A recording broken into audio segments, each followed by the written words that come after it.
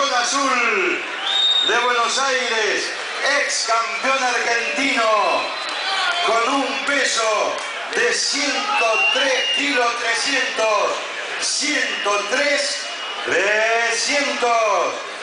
Lisandro, el carnicero